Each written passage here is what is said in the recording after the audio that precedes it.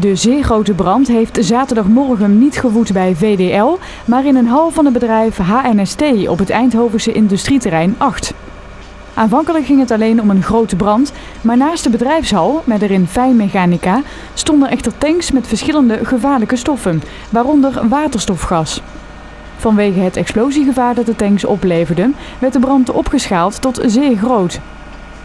Het vuur woedde in een petroleumtank in de kelder van het pand, waardoor de brand moeilijk te bestrijden was. De brandweer rukte uit met zeer materieel en bijna 100 medewerkers. Rond het middaguur had de brandweer het vuur onder controle. 30 mensen die in nabijgelegen gebouwen aanwezig waren, werden geëvacueerd. Er raakte niemand gewond. Over de oorzaak van de brand is niets bekend.